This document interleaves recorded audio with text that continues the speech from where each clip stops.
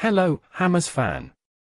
If you don't want to miss any updates about West Ham firsthand, then subscribe to this channel now and turn on the notification bell because we are always on the lookout for any West Ham news, and you'll always stay well informed.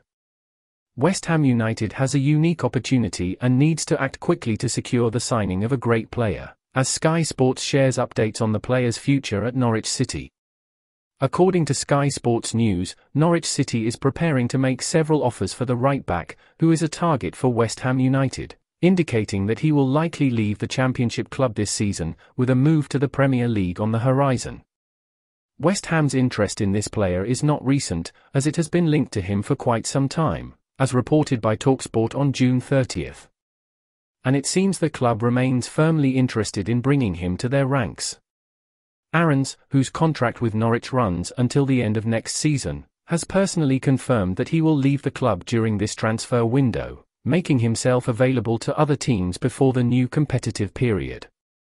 During his five years at Carrow Road, the player has become a key piece in the team and one of the best players at the club, attracting interest from several Premier League teams over time, although none of these moves have materialized yet. Make sure to leave a like on this video, doing so will recommend our news videos about the Hammers to you. Thank you, and let's continue. Now, at 23 years old, the speedy defender seems to be moving towards new challenges. With West Ham United looking for defensive reinforcements on the right back, due to the possible departure of Ben Johnson, David Moyes is eager for a player who can compete with Vladimir Coufal for a place in the starting lineup, and this great player proves to be a promising option. Last season, Aarons impressed with his defensive and offensive skills, being one of the top performing players in both areas, according to FBref's analysis. His ability to successfully dribble and deliver accurate crosses into the box makes him a constant threat to opponents.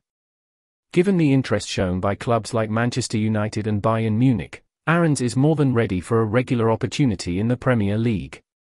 So, what do you think, Hammers fans? Should West Ham sign Max Aarons or not? Leave your opinion in the comments, it's crucial for West Ham. Stay alert on this channel as I'll bring more updates on this Hammers negotiation at any moment.